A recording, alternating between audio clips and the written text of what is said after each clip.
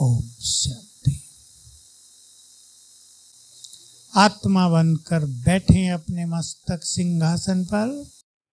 हम सभी को इस पुरुषोत्तम संगम युग पर सर्वश्रेष्ठ परमात्म प्यार मिला। सोचो, जिसकी एक झलक पाने के लिए हम तरसते थे, उस प्यार के सागर ने आकर हमें अपना निर्मल प्यार दिया। निस्वार्थ प्यार दिया। उस प्यार को पाकर हम तृप्त हो गए। उस प्यार में आत्माओं के जन्म जन्म के दुख समाप्त हो गए। कईयों को तो लगा कि उन्हें भी प्यार करने वाला कोई है। जब बुज़ुर्ग लोगों को बाबा बच्चे बच्चे कहते थे तो उनके नैन भर आते थे। जब रोज मुरली में मीठे मीठे बच्चे शब्द आता है तो प्रभु प्रेम की अनुभूति होती है। इस प्रभु प्रेम की पालना में हम सभी स्वयं को तृप्त करें, इस प्यार को महसूस करें। भगवान स्वयं हमारा मात पिता है। जैसे संसार में लौकिक माता पिता अपने बच्चों को बहुत प्यार करते हैं, वो अलौकिक और परलौकिक माता पिता तो हमें बहुत बहुत प्यार करता है। और उस प्यार में वो हमें महान बनाना चाहता है। उस प्यार में वो हमें संसार में चमकाना चाहता है।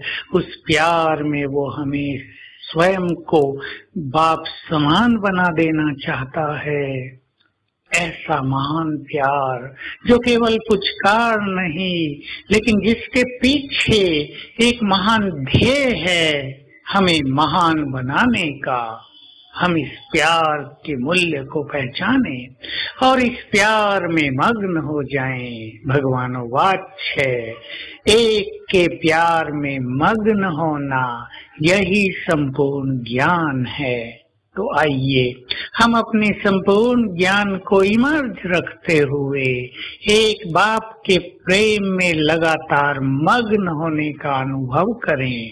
और ये भी याद रखें, जो इस समय प्रभु प्रेम में मग्न रहेंगे, उन्हें जन्म जन्म भी संबंधों में प्यार मिलेगा और द्वापर युग के बाद भी उनके चित्त में प्रभु प्रेम की तरंगे उठने लगेंगी और उन्हें भी महसूस होगा कि हमें बाबा का प्यार मिलता है।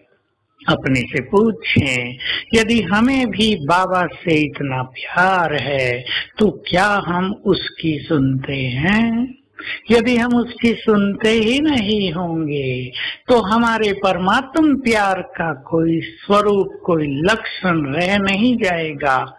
प्यार में तो कुर्बानी की जाती है। यदि सचमुच हमारे दिल में एक बाबा बसा हुआ है तो उसके महावाक्य, उसकी शिक्षाएँ, उसकी आज्ञाएँ भी हमें सिरोधार्य करनी है। अगर वो कहते हैं कि बच्चे पर चिंतन न करो।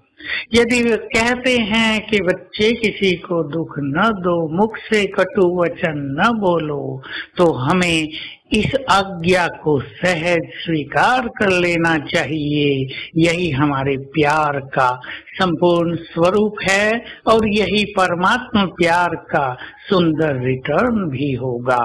तो आइए, प्रभु प्रेम में स्वयं को मग्न करें। उस प्रेम में स्वयं को संपूर्ण करें। प्रभु प्यार को पाकर, देहधारियों के प्यार को समाप्त करें।